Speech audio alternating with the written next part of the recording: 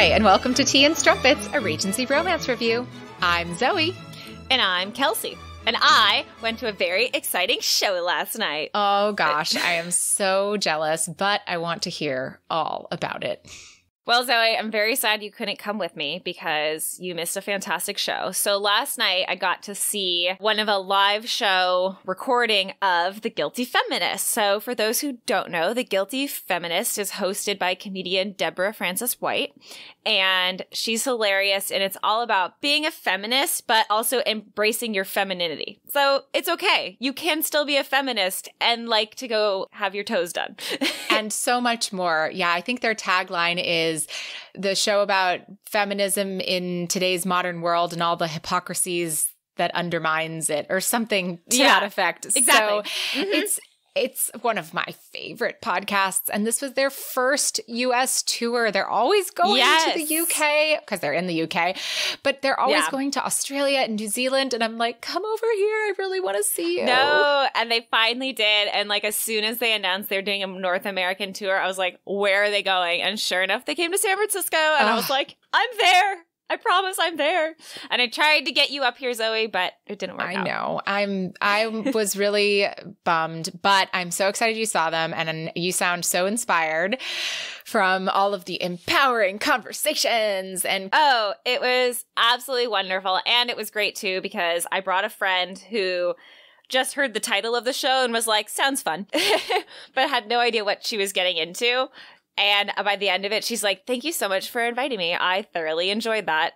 And I just was very happy to share it with her because I was so excited. And then we could, like, we were able to just talk about it and gush about it. And if you check our Twitter, you will see a photo of DFW and I together. So, yay.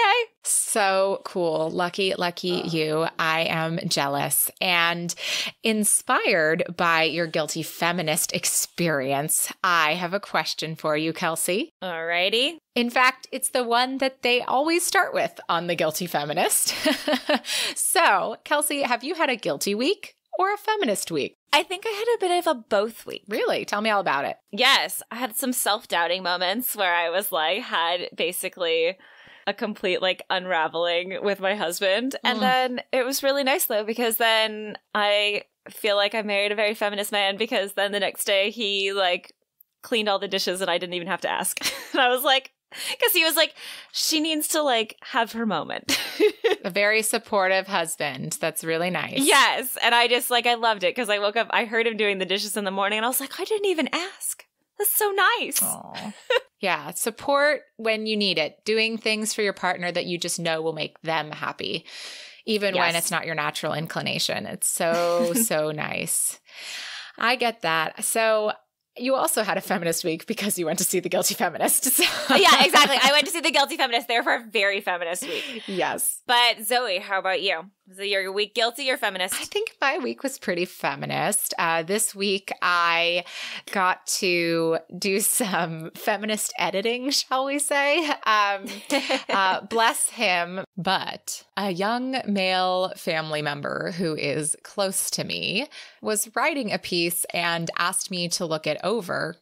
And while the piece was really personal and I appreciated what he was trying to convey within the piece, he had a line that was unfortunately just from a very narrow minded place of privilege. And I got to call him out on that. And I actually was really happy that I got to do so because I don't think that he was malicious at all, but he, it was a good learning experience, right? To say that, like, Mhm. that's how this comes off. This is coming off from a very, you know, white, straight, middle class man point of view. And you should be more considerate of the people who may or may not be reading what you're writing. And also, more than that, you should evolve as a person from this sort of this sort of, you know, view. And I know it maybe sounds worse than it was, but um it just it no, it's okay. You you told me about it and I 100% I agree with what you're saying and I agree with like his message was there. He just needed to think about the way that it was coming out. see it through a different lens. Yeah, he needed to see, he needed to read it as the viewer. Mhm. He needed to write it as the viewer reading it, not as himself just kind of being like Ugh. And he's a he's a very young gentleman, and so that's just part of his evolution because I actually know him to be very sensitive and caring. So that's really it's not a reflection of his character and it was a growing no. and learning moment and I was very happy to like be like excuse me.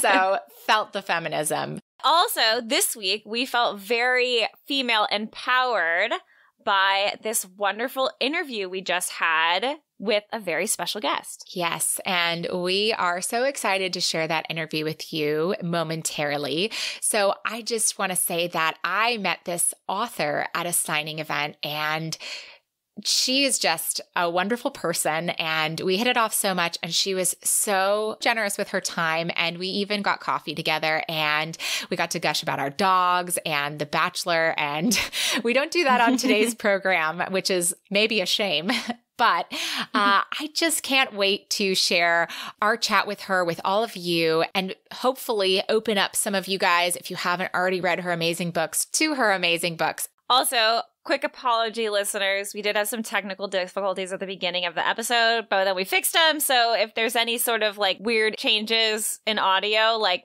we were just fixing things on the go. Yes. So without further ado, let's get into our chat with Kerrigan Byrne.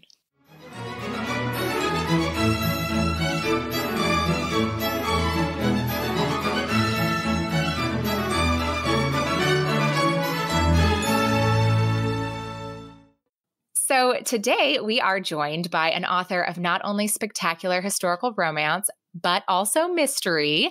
We are thrilled to have the fabulous Kerrigan Byrne on the podcast with us today. Kerrigan, Woo-hoo! thank you for joining us. Thank you so much for having me. We are so excited to have you. And listeners, if you haven't read Kerrigan's books yet, um, well, I'm actually really excited for you because they are great. And I still have a couple of your books in your catalog left. So I'm holding them like little treats for when I need them. Oh, best. No hurries. it's still weird mm-hmm. for me to ever hear that I have a catalog or that this is what I do for my life. So yeah, I can't really imagine as I am not a an author, but uh it's just a a crazy thing. I think I imagine to have people come talk to you mm about your books. I, I and we're doing that here today. So, so Kerrigan, we like to break the ice with the toughest question so that everything's just easier from here. So we're just gonna get it out of the way. So, are you ready? I'm ready. Do you have a favorite romance novel? And if so, what is it? Uh, okay. Um, I like I thought about this for a very long time, and all I could think about is that I say one thing, I'm there are all of these other great ones that I'm not saying, and so that makes me feel weird, but um and mm-hmm. squirmy inside. But I there's one that I keep going back to, and it's it's because every time I'm stuck, I open this because it always gets my engine going as a writer and as a reader, and like it's Karen Marie Moning's Dark Highlander. And so Ooh. I I don't know if it's like my favorite of all time, but I just uh love it so much. you know, and I and I read it all of the time just because I I feel like I want to emulate her and it I don't know, just everything about that hero just gets me.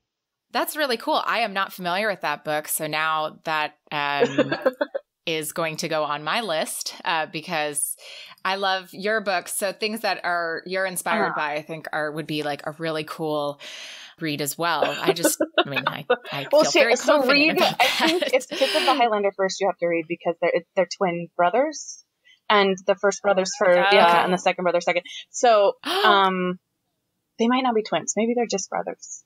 I'm the worst person. I think they're twins. Anyway, there's Dr- there's Drustan and Dageus MacKeltar. And um see, I would remember the brother thing, but I would not remember the names to save my oh, life. Yeah. So well, like already you're like so much further off. I read it all else. the time. I read it like all the time. And I do read both, but they have that kind of dichotomy of like one brother's the like blonde hero Superman guy who does everything right and he's the knight in shining armor. And then the other brother is like possessed by 13 ancient demons because he does bad things and like Oh, yeah, and it's very, Oh. you know, and like he's Okay. kind of kidnappy, which is fun. And you know, so like, and it's, it's like a time travel, it's like a time travel, Scottish time travel, written probably ten or so years ago. Because Karen, Karen Rain Hmm. Moning does almost, Wow. almost exclusively urban fantasy now, and she has for quite some time. And I read those books too, but it's a totally different, totally different feel than her it's a different earlier. ball game. Yeah, That's a different. Yeah. yeah. And so this one has a fantasy element because it, it's paranormal because either the women fall back in time or the men come forward in time, which is both adorable and fun.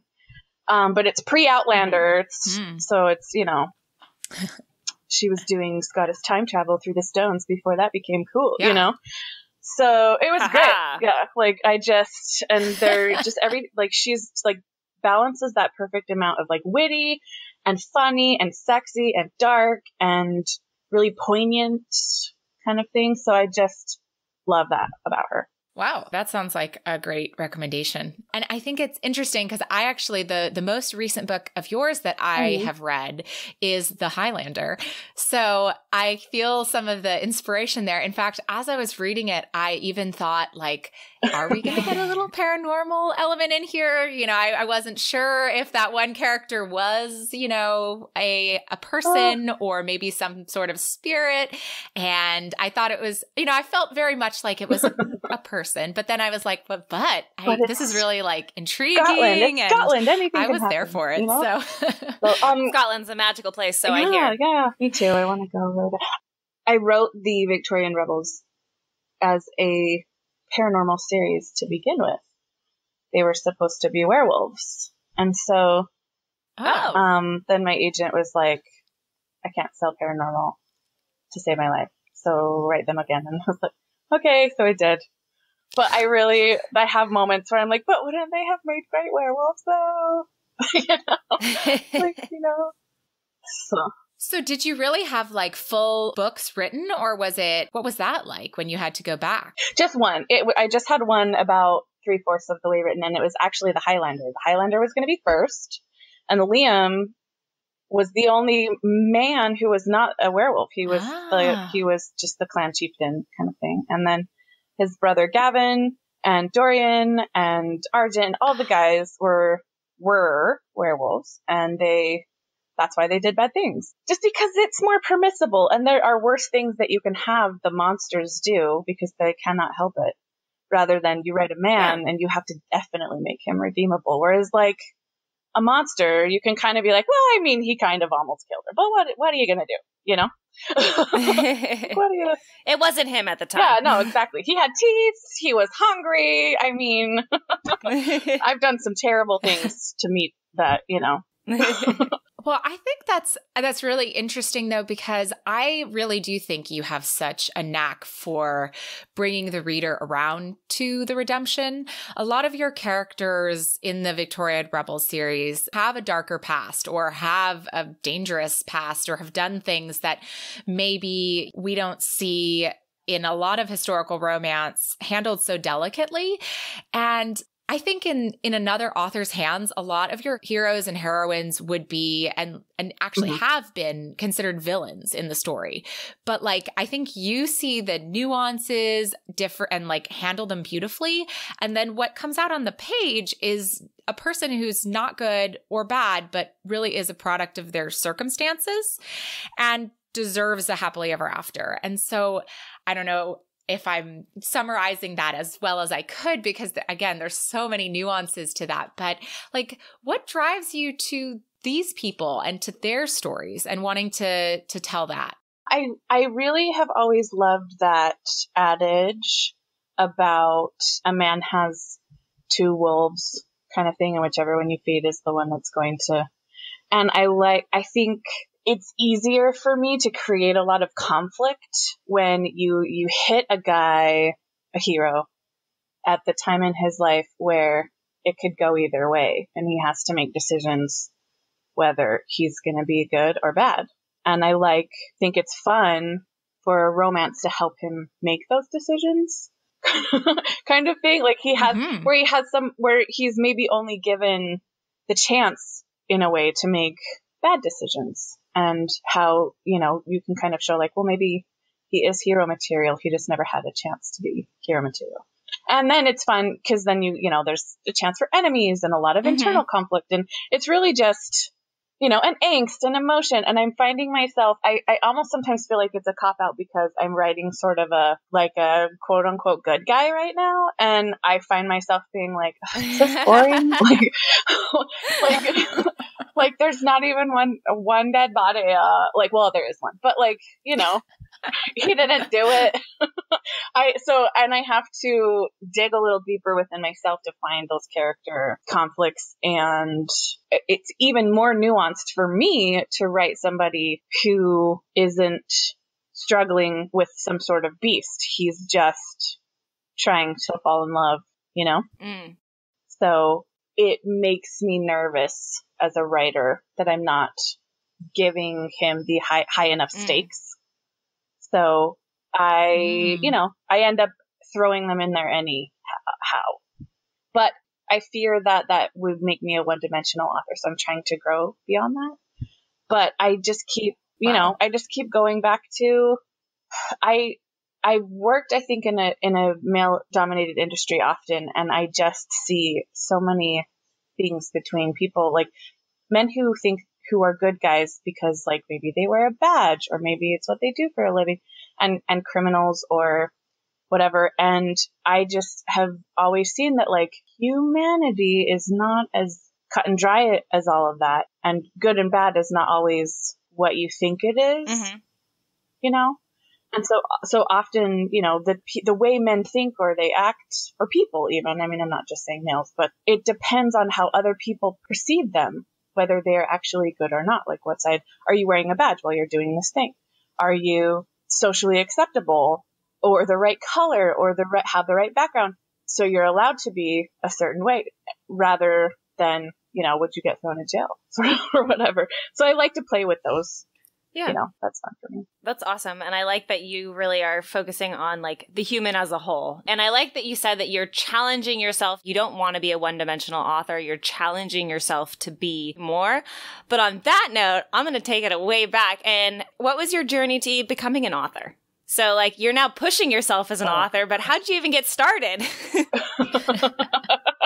um, like ever since I, I mean, I have, I've been writing since I was nine years old, and it was, it's always been romance, romance and like mystery, like a lot of like Hmm. here's some romance, but also like scary stuff. Like I've always loved kind of spec fiction and paranormal, you know, Mhm. and and serial killers and like and things like that have always been really fun for me but like always with romance Mhm. and so i just love creating people i love you know i had a ton of imaginary friends as kids and i would play legos with my brother who's like by my age and you know like we would totally go storm the castle or like pew pew you know but then then the little lego lady with the red lips had to fall in love with the he was very patient with that and he's like fine uh. and um i just i still have notebooks and notebooks of of writing stories and things like that that i've done i've just done forever and then i had a really bad fever one time and i had just read actually karen marie moning's it's another story of hers and i can't remember what it's called right now but it was about a berserker okay. and I had never heard of them before. And they're like these old Viking myths about men who, when they see blood, just go absolutely insane and they kill everybody. And I was like, that is so hot. so, and I had this like fever dream. I was so sick. I had a like 104 fever, and about this like Oof. guy who could not speak, and he was like beckoning me into a room. And then I woke up and I was like, that was obviously a berserker, and he wanted me to go in there, but he could not talk to me he could not speak. And that's super hot. And so I wrote my first novella about Roderick McLaughlin in Unspoken. It's called uh, Highland Secret now. Okay. And he he can't speak. He just doesn't have any Oh. he does he, he like he Hmm. was cursed for no so he has to woo this woman with never talking to her and um that was the very first thing that you know and I, I went to a conference on indie publishing and i was like well this is obviously just the weirdest thing ever but I'll just throw it up on like I don't know if I did it well. It's it was very short. It's novella length. It's only you know 115 pages or something. But I just like threw it up on Amazon and people read it and some people loved it and so I wrote some more and it kind of took off from there. So awesome! I love your self-starting attitude. I love that you're just like I'm putting this out in the world. It's great. yeah, I wouldn't say I ever thought that it was super great, but it was kind of more like, what am I, you know, like what else am I gonna do? I don't have anything finished. I had a really hard time finishing books or finishing projects at all. And so um, this one was short, and I'm like, I need to prove myself that I can write something from the beginning all the way through to the end without getting distracted with another story that I love. And so that was the first thing I ever finished. And I was like, well, it's done. so I'm gonna let the I'm gonna let the world tell me if it's any good or not. And if everybody hates it, I'm gonna get better. Mm-hmm. I, I still want to get, you know, but I'm never like I'll take it down, change my name, to, you know what I mean? Like take a minute to lick my wounds, and then I'll try again later, mm-hmm. you know. And but it it worked out anyway. It worked out. So so you started then, I guess, with self publishing, and I think that novella series is quite a quite a series now, right? I mean, are, I believe they're all like readable, you know, standalone ish, but they're the same series. Am I mm-hmm. incorrect? No, yep, that's right. There's nine novellas. That's so many, so um, prolific. And those those all. But there's have... again, there's there's short. Very cool. And so you started with self publishing, but now you work with a publisher for some of your series. Is that correct? Mm-hmm. Yeah, I thought I was going to be a paranormal author. That's what I was. I read almost exclusively paranormal at the time. I wrote almost exclusively paranormal, and so when I started shopping the Victorian Rebels, which it was not called, I don't even remember what it was called, um, to agents, it was the very first actual book length book that I'd ever written. That was like this is 300, 400 pages. And yeah, and that's when she picked, she picked it up in July of 2014 and she's like, rewrite the werewolf out of this. I did that and we sold it in October. So, I mean, it, everything happened very quickly. It kind of just tumbled into that. And what I didn't realize was once you publish something with New York, because after I was done after three, I wanted, I wanted Argent and Dorian and Liam's story told and maybe Gavin, but like I was like, okay, well now I want to write about gladiators, and they're like, oh no, no, no, no, no. Here's what you don't understand. like I like I have this great gladiator story, and there's like slaves and sex, and it's gonna be fun, and more dead bodies. and they're like, here's the thing. You write Victorian romance now. Congratulations. If oh. you want to get crazy, like that's your brand. That's your, you know, that's your, that's your platform. And until you're Nora Roberts, like who can write whatever she wants, like you have to write what the audience expects of you. And I was like, okay, well, that's okay. And so Victorian forever. And if you get crazy, maybe a Regency, but like, let's talk about it. so, so, I, I, uh, yeah. So oof, you are coming out then with the seventh book of this series this year. And I mean, have you found some excitement and fun, you know, continuing what you didn't think you were going to continue with? Or how has that process been for you? Um, it, I think it was frustrating at, at first just because I, I was like, oh, you're putting me in a box. I don't know how to live in this. And then I realized that I created this world with these guys that I love and that I knew the rules of and the parameters of. And so it was fun for me to kind of spread their world out into like the book I'm writing right now is about uh, Chief Inspector Morley, who he just was like sort of thrown in to the first book to be not the hero. You know, like he was just this guy that I'm like, mm-hmm. he's just like the boring guy that she doesn't choose because she she has to like be in love with this dark king of the underworld, you know. And now he's this fully formed like man that I've wanted to write forever. Well, not forever, but but once people started asking for him, and once people are like, he's so interesting, and then he kept popping up as like this sort of antagonist mm-hmm. mm-hmm. to these men, and like then they started having fun banter, and then they started like then they started sort of getting along, and then he, all, I'm like, what if he has a weird past? And then you know all of a sudden I'm like, oh, he needs love. Like he needs a what? He's so lonely, and his heart is broken, and he's alone, and he like runs the whole police station, and like he just works too much, and he's so sad and alone. Why? And now I'm giving him, you know, this fun past, and well, not fun. It's actually terrible, but like. but like it's just so I'm having such a great time. I, I I I deviated from the Rebels for a while to write this other trilogy, which I enjoyed, but I am so happy to be mm-hmm. back in this world that I didn't even think. I mean, I still want to write gladiators, but you know. I think that's so fun just because like as an avid reader of romance, I'll read these series and after like a couple books, I'm like, is the next book going to be this side character that I loved so much? And it's like, yes, I, I, do that too. I read one series and I was actually, I stopped reading the series partly because there's so many other books I wanted to read, but also too because I kind of got out of the loop because I'll go on like book binges where I'm like, I have to read the series. Mm-hmm. The books are already out. Like, I'm going to read the next one and the next one because I want these, I want to read these characters' happy endings. Right. And then this one series I was reading, I can't remember what it was all of a sudden, like four books in, it deviated to side characters I'd never heard of. Uh, and they were like the main people in the book. And uh-huh. I was like, who are these people? I don't know these people. I want that guy's story. Yeah. And I like scrolled through all the books and he didn't have a story. Yeah. And I was like, but, but he's the one I want to read right now.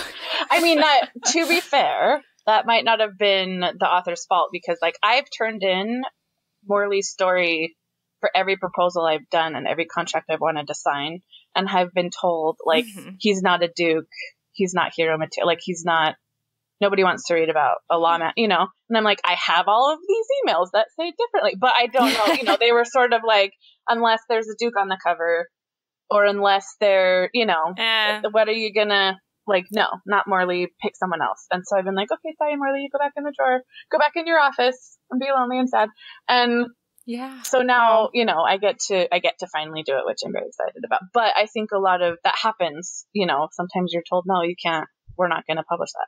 So. Yeah, and I get that. But it's still disappointing for me as a reader.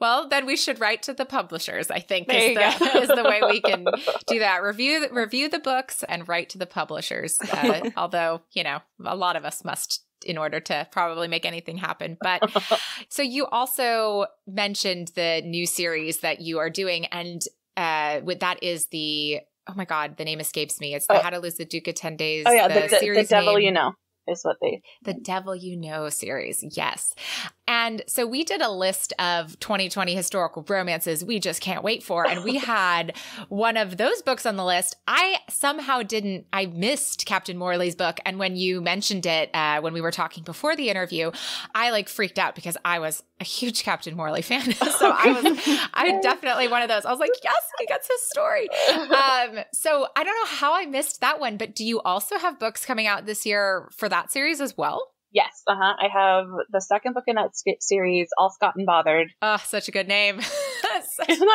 such a good name. I'm very excited for that one. Yay! That one's coming out in September. So excellent. My mm-hmm. birthday month. Perfect. Thank you for giving me that gift. and I believe much. that I saw the the third one is called "The Importance of Being an Earl." Mm-hmm. Yes, That's and that one's title. that, I guess I don't have a publishing date for that one. I I wrote them six months apart from each other, and so I erroneously assumed they were going to be released six months apart from each other. So I thought they were coming out in March and September of this year, and then oh. um, that was not the case. so I don't have a publishing I listened to another podcast with authors and they were talking about it. They're like, yeah, it's interesting when you publish a book because your public, once you like write the book and give it to your publisher, you're not in charge of anything anymore. Yeah. Like they make decisions and they'll like, they'll pick the release date and I uh-huh. just get informed of these things. Yeah, pretty much. Well, and it's, it's crazy too because sometimes you forget. Like I'll have written probably three or four books because I turned All Scot and Bothered in last April. And so, oh, oh. yeah. And so, like, there will be times when people will be like, when you were writing the scene, what were you thinking? I'm like, I don't remember what I ate last, yes, for lunch. You know, like, I have to go back through and read the book when it comes out again so that I can remember, okay, this guy's the guy that did this. And he, you know, and I have to pull quotes so that when people ask me about the book, I'm like, oh, yeah. like, oh.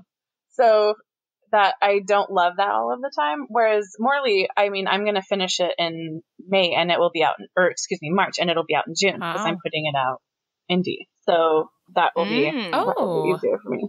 Very cool. I mean, and that was some of the things that we were really interested in knowing because I know that you've done a combination of self publishing and traditional publishing. So, and we've talked some about the self publishing and how you started off in that, but what's been the hardest part of self publishing for you? Um, I think it's the ever evolving world of what self publishing is. Because when I put my book out, uh, my novella, let's say, when I when I published, I think it was 20, 2012 or 2013, and it was basically like there were something like 1.8 million books on Amazon at the time, and Wow. that was nothing. I mean, now there's like, what, 18, 20, 30 million books. I can't, like, I have to. So it was way before the rush, and I put out this tiny novella, and it did well. Like, the first. The, f- the first uh, month I was able to like pay my car payment and I almost died because I was so happy. And then I put out the second book and the, or well, novella and the third novella. And by the time the third novella came out, I was making triple my monthly salary as a government employee. And so I was like, Oh. this is never going to end. Like I quit my job and you know I mean? Like I'm going to be a millionaire in a year. And, and, um, but then, you know, rushes happen and people with better business minds than I figure out more better advertising and better social media presence. And, and they're, Mhm. all of the sudden you have to be like president, CEO, PR marketer, tax specialist, Instagram influencer, like, and you have to, you know, something new is introduced all of the time. And the more people that publish, the more difficult it is to, to kind of swim through that like glut in the marketplace to find your readers anymore. And so I think that was the most difficult thing for me was wading through that. So I was very lucky, I feel like, to find a New York engine that has their own marketing teams and their own distribution channels and be able to rely on them as well because I didn't have and I still don't have the the genius that it takes for some of friends of mine even that that are that do so well in the indie market because they have that whole brained approach where they can ju- Mhm. juggle the business side of things so very well and also write fantastic books. It sounds it sounds overwhelming, and it, it it also can sounds be. very relatable. relatable Yeah. uh, as as a podcast. I mean, like that's something that is very difficult to do. You know, coming from from zero, and I think in any industry, and trying to break in and find success, whatever success means. You know, if it's paying your Mhm. car payment, or it's being able to quit your job, or it's just you know finding fulfillment you know there's so many different Mhm. levels um, of success but even you know there's so much relatability with the, the amazon marketplace versus even just like apple podcasts or Yeah. any sort of podcatcher like to be able to be discoverable and to be found it's more and more there are these big companies like spotify that's doing crazy things in the industry Yes. um, or even just some of the podcast networks that are so big. And so, unless you are a celebrity or a um, kind of an established person or working with one of these big networks, you're not going to find yourself on the discover pages right. of these apps. Um, Yeah. So, it's kind of a pay to play marketplace Yes. and or you have to exactly what you're saying like have some sort of incredible social media something and it's it's such a game and i also just find it like really interesting and fascinating. I work at a, a social media company basically. And so you know we're my company is trying to create a new social marketplace similar to a facebook. And um, we talk about that a lot about how how can we make it so that anybody can have success Mhm. and that ever they can be discoverable and that they can make money online so i like that there's noble intentions out there and i know that we can't be the only people looking for that but the reality of it is that right now there's so much out there and it's so hard to really find what you want Right. and to find success if you are the artist shall oh we yeah. say so yeah. Well, it's so difficult too because like that pay to play is is a huge thing has become just I would say in the last year or less. Um, you know, Amazon Yeah. has come out with their like pay per click AMS services and Facebook is doing the same thing. So now it's not just like I just throw books out there and I figure out kind of this certain, you know, it used to be kind of like, well, how often do you do a sale and how often do you you know, where, where can you make noise for everything? Now it's like you don't even get the noise made for you unless you pay them for Hmm. advertisements Mhm. Uh, to be put on certain lists or for for the visibility that you need for their algorithm you know like all of that is i mean it breaks my brain i just don't i'm not very good at it to be honest so i you know yeah, I think that's kind of just where all this technology is, is going Mhm. right now. And it's, you know, it's funny because the businesses are trying to like build their algorithms to, because they want to make the most money. So they're like, we're building the algorithms to make these things popular and it's going to help everybody. And it's like, no, it's only helping a select few people because you're like the algorithms, like, I'm not going to say they're flawed, but they are flawed in Yeah. a Oh, sense. yeah.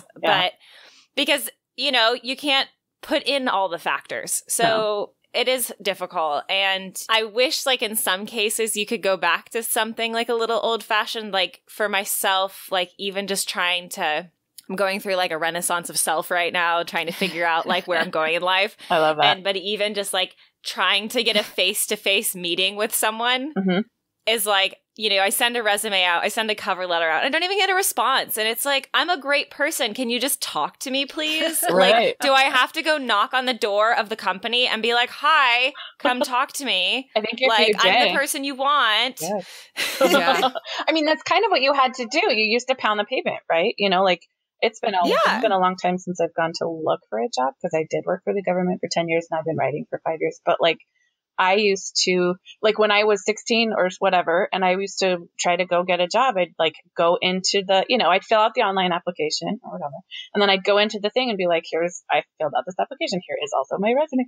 And my mom taught me actually you know to do that kind of thing. I never I never applied for a job I didn't at least get interviewed for or get the job because they had my face. Yeah. Yeah. So and I cold called someone. Yeah. And I was like, hi. I really like, I heard you hired someone recently. I don't know if you're still hiring, but I really want a job here. And they're like, who is this person? And they're like, okay, come out. And they're like, oh, wow, she's great for the job. And I was like, see, there you go. Yeah. And I just called someone because I was like, I want to work for you. Yeah. yeah, and that, I just feel like I wish you could do that. I wish you could still, you know, I wish that was still a thing. And I that's why I love podcasting though because you can or even video casting. Well, I, Mhm. I don't love it. I never do it obviously, but like, I get so shy. But I but one on one, I just think it's so great to be able to have that human connection and that help. And since that's kind of gone, you know, gone the way of the world, I think it Mhm. means even that much more these days. My grandfather always said, There's no harm in asking. The worst they can say is no. So I'm with you guys. Like, go out there and, you know, pound the pavement, uh, whether it be virtual or physical. And a good combination, I think, is, is the way to go. And it's just, uh, it's hard out there. And I think that the rejection, right, can lead to kind of this hesitancy uh, to do it because if you constantly feel that of like, well, why am I not hearing back, or why am I not having success, or why is my product not being shown? It's like, should I keep doing this and there a lot of self-doubt creeps in. And i think you know for us too with with a podcast you look at numbers and reviews and feedback and you kind of can easily feel the same way because you're like well am i doing enough? Is this enough? Should i keep at it? I'm not trying to say that we're, you know we're having second thoughts about our podcast. We love our podcast. But that, that doesn't mean that we don't have those thoughts. And i can only imagine that as an author it, it's very similar with only with you know pitching things you want to write and hearing back that maybe that's not what they want you to be writing right now. I i i just don't know. How do you overcome those moments? Um, I feel like I'm a bad person to ask for that because I, I have never not faced rejection, and so I don't think I have a healthy fear of it. And I didn't realize that that was a huge part of the the artist struggle until I started hanging out with other writers and you know they're like we never listen we never read our reviews because I just that will that will put me out of commission for a week or if I get rejected I have to you know like salt my my meals with my tears you know and like oh, no. and I just I just went into this whole thing. I, I read a lot of books by other authors because I'm like, this is what I want to do with my life, obviously. And I mean, from the very beginning, my my parents were very like, please have a backup plan, please go to college, please like no one makes it as a writer, don't do this, and um and I kind of did. but then I just took writing classes, you know, like I went to college. Then I just mm-hmm. like, well, I'm going for English and I don't know if I, it, like failure just kind of wasn't an option. And everybody said, like, I very much listened to when Stephen King was like, well, I used to put all my rejections on my wall with a nail. And like, once the nail was pulled out of the wall, I, I used a railroad spike or whatever, you know? And so I was like, okay, well, I'm going to get rejected mm-hmm. a lot because I know I'm not very good and I know I have a lot to learn and like you learn from failure. And so I just expected to fail a lot and I still expect to fail a lot and I'm still surprised when anything ever goes well. So I feel like um, you know, and someone's like, "We like it, we'll take it." I'm like, "What, really?" You know, like, "Oh, great," because I, I look at everything I do and see gigantic flaws in it. And so whenever anybody tells me there's a gigantic flaw in this, I'm like, "Well, you know, they're not telling me anything. I don't know." So I just, I just listen. I just listen and try not to let it bother me too much. It starts to bother me when someone says, "I want you to be other than you are," or mm-hmm. they start messing with things early in the process. Like I've learned to be very precious with my with my little baby ideas and mm-hmm. absolutely mm-hmm. iron skinned with things that are finished. Because when my ideas get batted out of the air by critique partners or brainstormers or that kind of thing where they're just like, this whole thing won't work, I'll be like, yeah, but but like, I've always been told that. I've always been told, don't write about a guy with amnesia. That's ridiculous. Don't write about a guy who's, um, who's an assassin who's gonna kill, you know, kill women and is, has violent, like, is violent against women. That's not gonna work. And I'm always like, I'm just gonna go ahead and do it anyway, you know, and it ends up working out okay. So I, if I start listening to those voices that say, don't do that, don't think about that, don't even start that, that's where mm-hmm. I start mm-hmm. to to feel paralysis. That's where I start to feel like maybe all my ideas are bad, and like maybe this, you know, maybe the world has changed too much. Maybe I'm wrong. But if I go ahead and try to go with my initial ideas and get to the very end, that's when I can get all of the feedback and the criticism and just be like, okay, okay. But I think that you actually are an excellent person to ask about that because you have such a maybe such a less traditional feeling about it. And I think that it is really important to to think that way as much as possible, right? To not let our our insecurities and not let criticism take us down, but to translated in our heads you know? Some some people are, aren't great at giving criticism right. but you got to take that criticism and say okay well what can be the next step from here? Be it a, a you know as simple as a, a, revision and actually changing something or like how do i go about this process differently in the future? Like you said like guarding your baby ideas very carefully. So i think that that's brilliant and I'm going to remember that and try to think of that the next time I'm hard on, my, hard on myself. yeah, just I know. I'm like thinking to myself as like, okay, uh, Kelsey, next time when you shoot your own idea down before you even like f- like flesh it out, like maybe flesh it out first and then like see where it goes. Yeah. And then also you yeah. can think of options too, because like, what are my options? What's worst case scenario? I always go to the worst case scenario. I have an anxiety disorder. Like, I think the world, the sky is falling all the time. But Oh, me too. Great. yeah. Um, so maybe that's it too. Like maybe part of it's like, oh, you didn't like my thing. That's okay. I didn't. My my brain didn't explode today, so like I'm calling it a win. You know, like I didn't have a weird aneurysm, and I didn't. You know, like I was able to go to the grocery store and not die. Like that's like a good day. You know. Yeah. Yes. So part of that for me is also taking your options into account. Like when my when my agent said I can't sell a paranormal. These would be good paranormals, maybe. But what do you want to do? Do you want to publish right now? Do you want New York right now? Do you want to hold on to these? Do you want to write me something else? Or do you want to change them into something I can sell right now? Do you want paranormal to wait till paranormal comes back around again? What are your options? What do you want? And then I had mm-hmm. to figure out, okay, well, what do I want and how much work am I trying to do to get what I want? So I think that can be a better way to approach these too, where it's not like my whole self is being rejected. It's just, okay, well, what, what I wanted is out of my reach right now. So what, what can I do to work around that? You know? Definitely. Definitely. And you've done, I think you've done that so brilliantly. It sounds like already over your career, you know, with changing up the Victorian Rebel series and self-publishing some some things of your own when you wanted to get those stories out of there. And I think you've also recently self-published a mystery. Uh-huh. Yes. And that was another thing where I just got tired of the rejections. And that and I did that there too. Like everybody I sent it to everyone. You know, I sent it to all all of New York. I sent it to the Amazon and a lot of people read it and a lot of people said, I think we will publish this except for you need to change the whole thing. Oh. You know, I had somebody tell me like well, I had multiple people tell me in New York like, okay, well, her job is too bloody, her past is too dark, her her outlook is there's just too much blood on the page and she doesn't have a like a good enough sidekick you know and maybe there's too much romance or there's not enough romance like we don't know you know like there was just there's all of mm-hmm. all of this feedback that you get that you're kind of like why don't instead of jack the ripper because that doesn't make a new york times bestseller because he's so overdone why don't you do sherlock holmes well, I'm like, well, are you kidding me that you don't think Sherlock Holmes is overdone? And trust me, like I watch every every Sherlock Holmes thing that ever comes because I love it. But or you know, or why don't mm-hmm. you make her the plucky sidekick to an actual hero? Like she's, you know, uh, and so no, I kind of, you know, take some of the blood off the page or take some of this. So all of that feedback to me was like really frustrating because I'm like, okay, well, I've had this job in real life, number one, and mm-hmm. no, like this is what I wanted to write about, you know. And then they're like, well, make it more women's fictiony, less romance, make it more romantic, less mystery, make it more thrillery, less this. And so it just, I got tired of that feedback and it did hurt. I'm not saying I didn't go like, oh, really? I wanted you to take it. Like I've had moments where I'm like, okay, well, I have to process this, this rejection for a minute.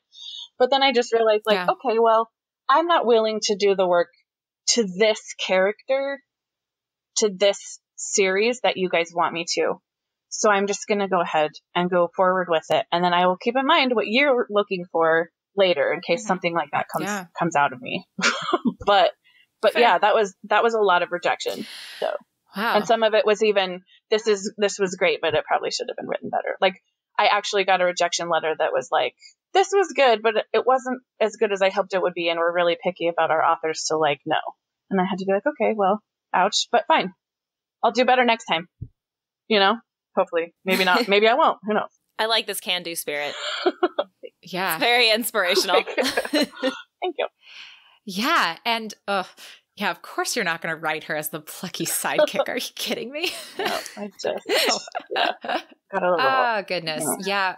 I was I had a thought about that that I wanted to say. Too stuck on the plucky sidekick. I am. I'm still upset about that. See, that's my problem is that I like can't let things go when I get like on my righteous high horse. But um I, I tiny activist living inside of us that just gets so mad about so many things. I just feel like oh, she sure does. She just wants everyone to listen. But I said high horse. So that made me think of something in your first book in the Devil You Know series. The first scene where we're unloading a horse from a train. Uh-huh. And Kelsey and I are both horse girls. So, oh. and I also lived in the Middle East briefly. And so you had this, this mention of the heroine, like having seen a camel herder, you know, calm a camel uh, that was trying to run away by turning it into a circle. And I just really wanted to know, like, where where the inspiration for that scene came from or or how that came about because um, it was thrilling. I am no longer a horse person, but when I was younger I was a horse person. And I, I had a little like ah. spike of anxiety because that's not the first scene that I thought we were going to talk about because that's not the first scene I usually get oh, asked gosh. about that book. Um, uh, oh well, you know, okay. um, yes. But I we really enjoy when equestrian scenes are written well and they stick with us like very much. Yeah. yes. Um, but I had a horse from the time I was twelve to the time I was seventeen, and so I that was what I did, you know, in high school, and I did mostly yeah. Western riding and that kind of thing. But and I didn't compete; it was just pure. Like I said, I want a pony, and I went out and got a job and bought a pony. like, Oh, like nice. I just that she was like my best pony and I loved her so much. And then I bred her and her son was half quarter horse, half Mustang, and just like the most beautiful.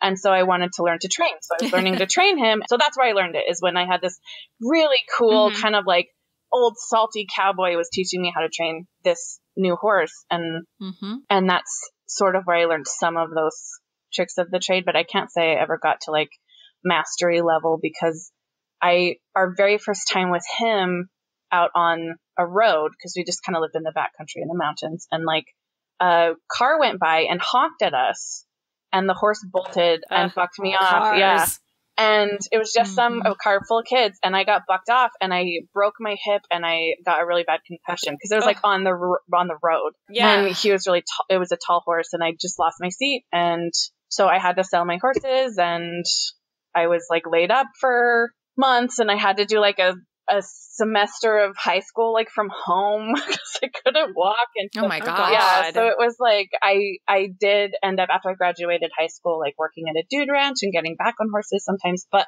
I've never owned them again and I haven't ridden in probably yeah you know seven to ten years so I just get to when a friend invites me over or whatever but I do have a little bit of that in my memory still that I can pull from it doesn't go away. Yeah, yeah. it, it, doesn't, and I think it because so so I I was a trainer for seven years, and Kelsey is still doing horses professionally, and so oh. we we both are just the kind of people, you know, when someone writes about the thing you do, you kind of just can immediately tell if they have some personal experience with oh, it. Yeah. and that scene felt very much like this person has has seen this, has felt this, you know, kind of mm-hmm. maybe not this exact thing, but they have some knowledge with it. So it's just it's always exciting to hear. So yeah, I thought I, I found that scene thrilling. And you know, the other scene that that I imagine you're talking about uh, is probably the prolog mm-hmm. of the book. Uh, to comment on that, uh, I started reading that book one morning before work, and I was sitting at breakfast, and my husband tried to talk to me, and I was just like don't talk to me right now. like, I am reading. it was a very much like, you cannot interrupt me. I have a limited time here. I did not know what I was getting myself into, but I have to keep going. so it's a really, um, I, am trying to think of the right word. I guess poignant is the closest I can come way to start a book. That's it just, kind it, word. It definitely. That's one of the kinder words that have been used.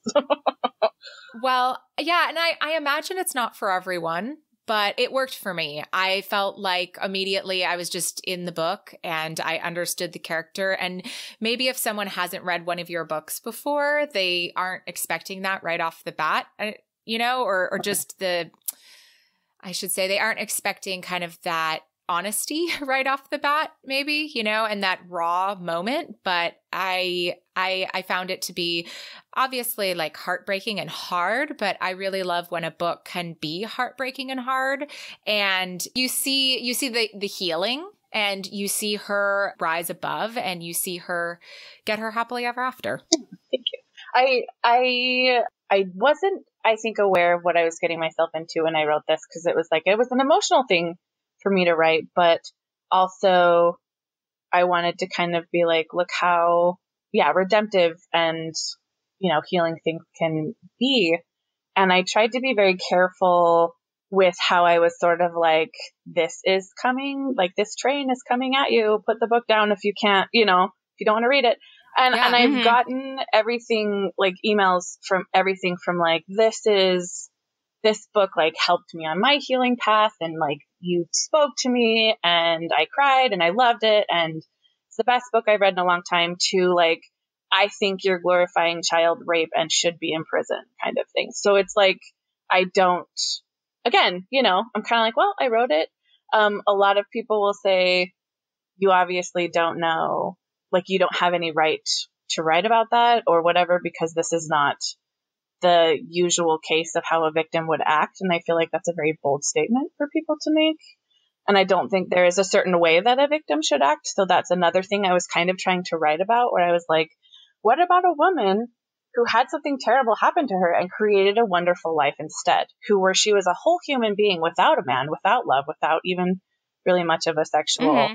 she would have had a great life had the hero never come into her world. She had a family, she had best friends. She had a job she loved and was good at and venerated for. Like she was, and she also was a victim of rape. Like that was a very, that was a part of who she was, but it wasn't who she was kind of thing. That was important to me. I, I mean, I, I loved the book. So I completely agree with your choices there. but I just so disagree with the statement that someone said to you of a victim wouldn't act that way. Many people, Like many you said- people have said that. I yeah, and I yeah, and I just don't. I get that like everyone's experiences are different, mm-hmm. and everybody chooses to take bad things and turn them into whatever they do. Like there's no there's no right way to do it, and like people do great things all the time after bad experiences, mm-hmm. like and feel fulfilled like in spite of the bad experiences. Like they take them, that's part of who they are, and then they have a life beyond that. Right. Well, and I think in this particular case, it's so off the mark for me because I could maybe see that argument if she had a long history of abuse, Mhm. right? And all of a sudden she snapped. But we've seen that also Mhm. in writing. Yeah. You know, we've seen Mhm. that in books, we've seen that in stories. But maybe that I feel like that argument would be stronger if she had that kind of history of abuse. You know, we argued it in a, in the same way but different in um, Romancing Mr. Bridgerton, which is like such a sweet, happy, fluffy, light book. But Kelsey's point was like, well, but Penelope never stood up to her mother. Her mother was constantly berating her and belittling her. And at the end of it, Colin had to stand up for her. And I said, you know, well, but she's had this life of abuse by her mother. Mhm. So, It's just a certain kind of programming that is very difficult to, you know, and some people could be like snip snap and then they tie, you know, cut ties and other people can't.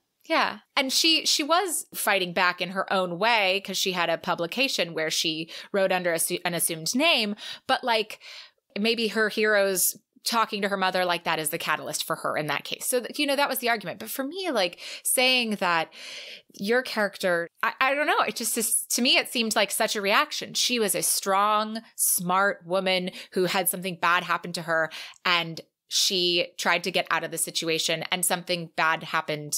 I, I don't know. It just seems to me like I totally disagree. I and I, totally and I and I get like I I understand where they come you know where they come from too because maybe their experiences were different or Mhm. their expectations are different and that's not what they want to read and so I'm never like Yeah, you mhm. have to like this because you know but I'm also kind of like that's the story that's her Mhm. story that's what happened to her and so that's Yeah. you know and I've also I've also been really asked for trigger warnings and that's something I'm I, I'm Mhm. going back and forth on also as well because I had a weird yeah, that I have weird, I have squiggy feelings about it on both sides, you know? Yeah, I, I understand that. And I saw one author who recently who said that they put them on their website. So if you like wanted to look into it, you could go there, but not within the book. Mhm. Um, because I agree, like if you see that and you know that going into it and you didn't necessarily need that trigger warning, you might not experience the book in the same way. Uh-huh. And the other side of the coin is if you do need that trigger warning and do want that trigger warning and you and you see it, then you maybe experience the book in a different way. Right.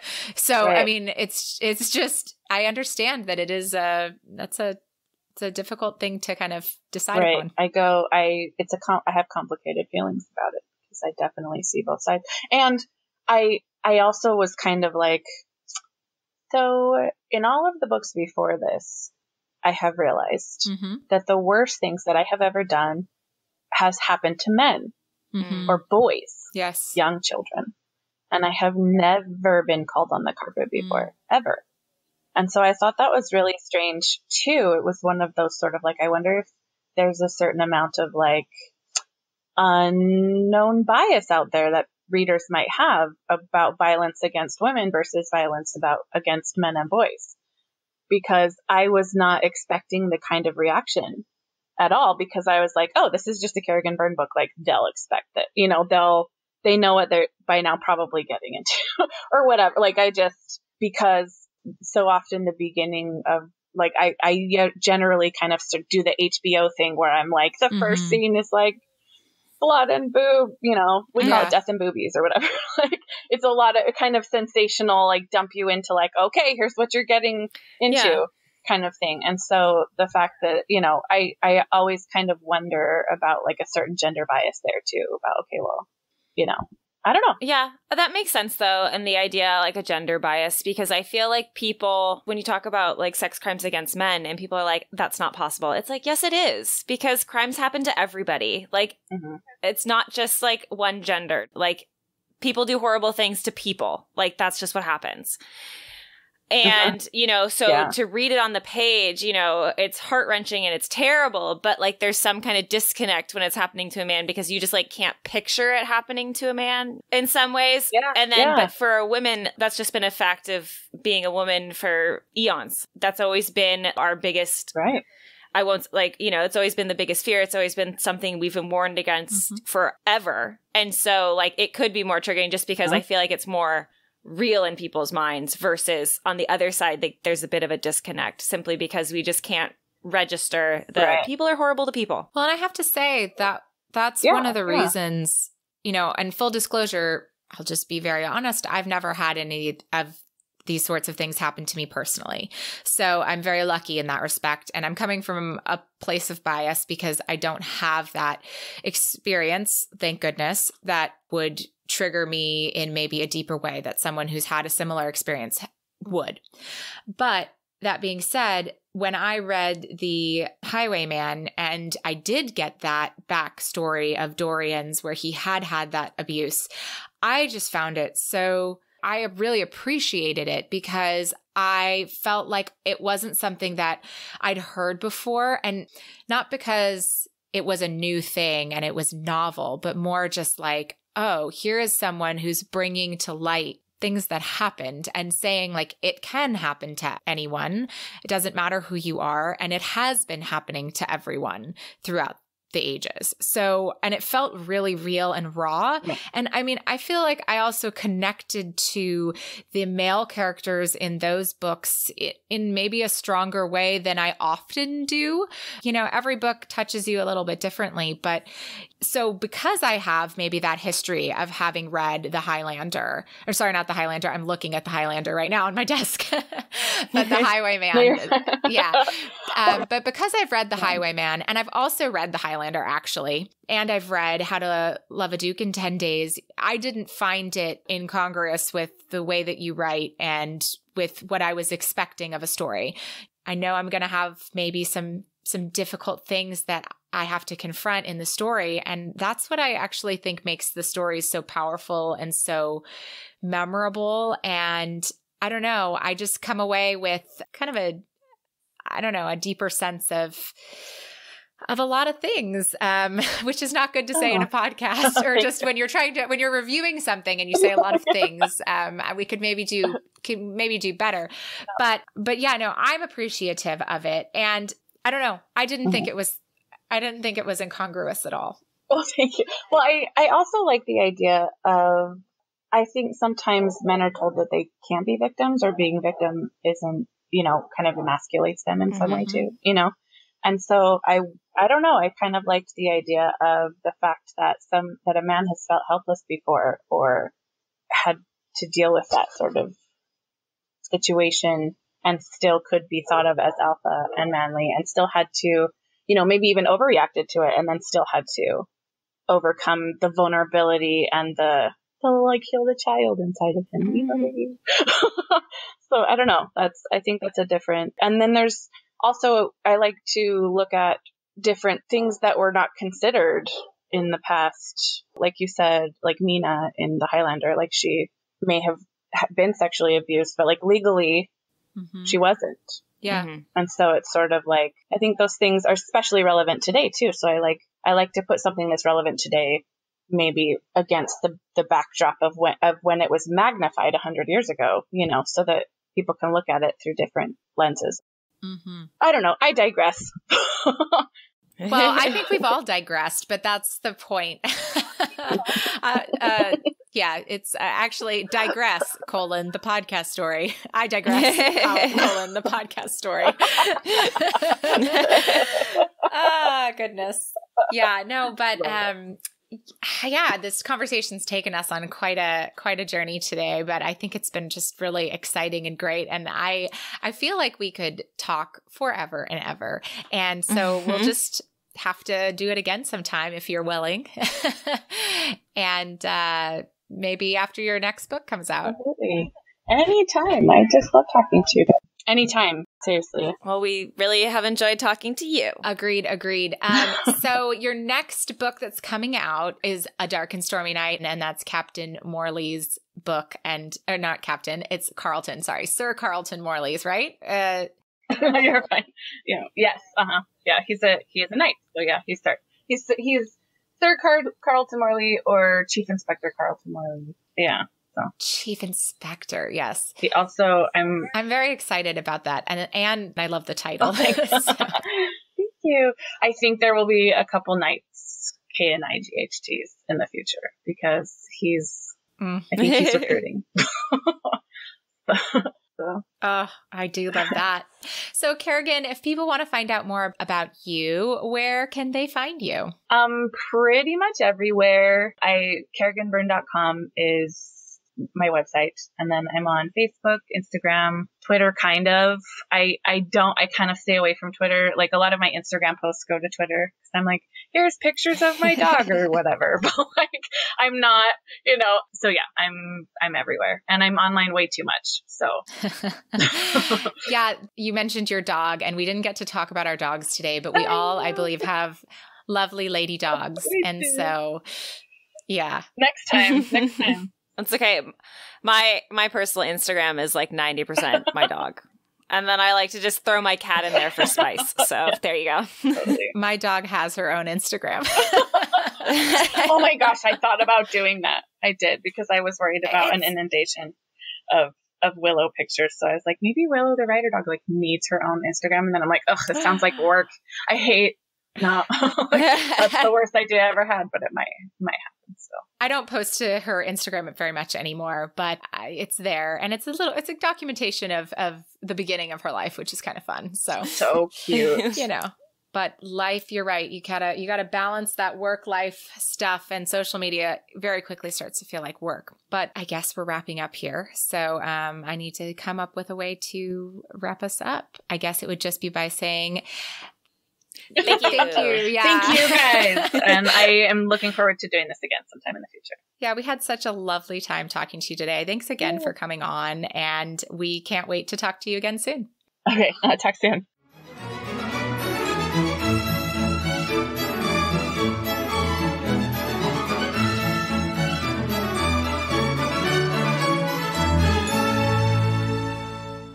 Oh my gosh, Lily, she's so nice. I really like her. I am so sad you didn't get to go to breakfast with us. This is the problem with us living in different cities. I know. What the heck, man? I know. oh, but she really has such an interesting point of view. And I just love what her books kind of bring to my reading list. I feel like similarly to how Maya, when she was on our program, was talking about how she kind of chose a favorite book based on her mood. Mhm. I feel like Kerrigan's books definitely have a different you know, a different mood to them than a, a Tessa Dare. We always use Tessa Dare, but than a. Tessa Dare. However, I really love having that juxtaposition. And I think she does something that not a lot of authors can do successfully. I 100% agree. I really, I've only read, sadly, the one book from her, but I was so involved in the story. Like, I was in it to win it. Like, I couldn't put it down. Mm-hmm. I loved every minute of it, but it was because, like, from you know, the prologue, I was on this emotional journey, and it's like I couldn't do the characters the disservice of like putting the book away for a day. Mhm. You know, it was like I had to finish it because I was on this roller coaster ride with them, and I had to see it through till the end. And it's what I used to enjoy about fantasy books was because I could be taken on this journey, Mm-hmm. and I was so in like raptured with the journey. Uh, if you haven't read her books, you probably think that doing a disservice explaining in this way. If you have read her books, I bet you agree with us. So, Yes. And I, but I think that was just such a bit of her because even, you know, in this interview, like we went down a bit of a rabbit hole. And, but that just was because, like, we needed to talk about her books because they threw us into a rabbit hole and we needed to keep going on it.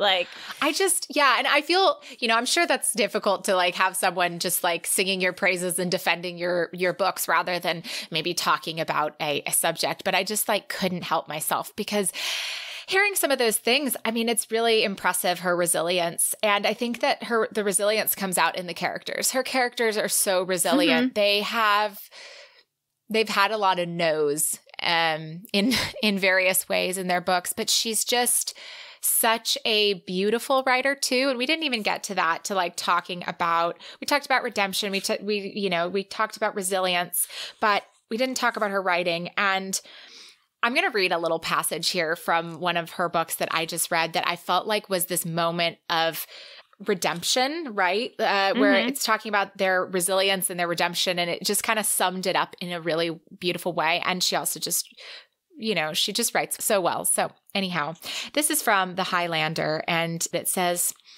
What a tragedy they both were bruised and beaten by those who were supposed to have loved and protected them, tossed upon a sea of cruelty and seeking refuge in this unforgiving world, seeking sanctuary but hoping for redemption. Yeah, just love it. And just yeah. also her attitude towards like even just publishing and like wanting to get her books out there and getting her ideas out there, like super inspiring. Just super inspiring. And then on top of all that, it's just really frustrating that not only do you and I live geographically in different places, but like that she lives in a different place because how fun would it be if we all lived together and we could take our dogs on like right? hike- hikes together? Ugh. That'd be so great. Uh, I bet our dogs would even be friends. yeah, we are just so thankful for Kerrigan for joining us today, and we look forward to speaking with her again in the future. Absolutely. So, first of all, call to action pick up one of her books. Do yourself a favor if you haven't already. Second of all, if you want to find out more about Kerrigan, again, you can find her on her website, kerriganbyrne.com. You can find her on Instagram at Kerrigan Byrne, her whole name. And you can find her on Twitter at Kerrigan underscore Byrne. Although, as she said, not as not as prolific on Twitter. That's okay. But on Instagram, you get the dog pictures. So, yay. And then if you're looking to find us, you can find us at romancepod.com. You can also find us on Instagram at T and Strumpets. T is in Tom, and is in Nancy Strumpets. We're also on Twitter at the same. And you can look us up on Facebook, and you can even look us up by name on YouTube. And we also would love it if you would take the time to rate and review us. Reviews on Apple Podcasts really help us get found.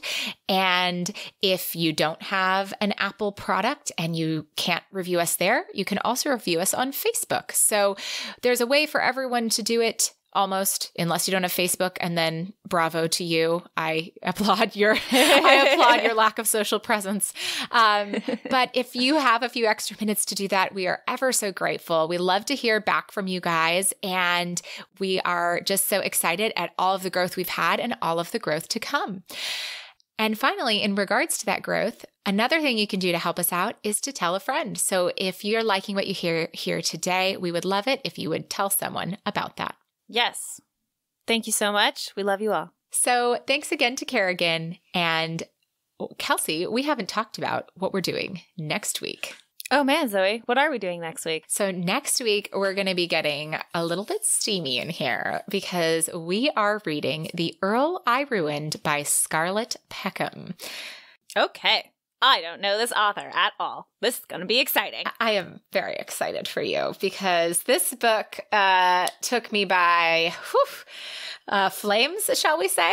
um, so I am really excited to get to talk to you about it and discuss it with our listeners. Awesome. I'm excited to pick up something new. So join us next week as we read The Earl I Ruined by Scarlett Peckham. And may all your ever afters end happily.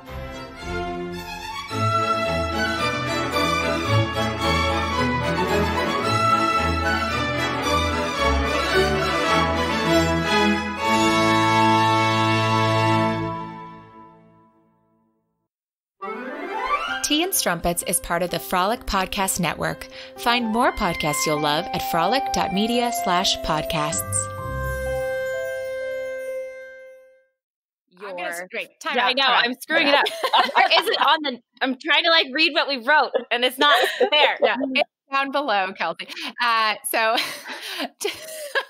Uh, I'm like, good morning, good morning. You guys are my favorite people already because now I feel like we are kindred spirits. uh,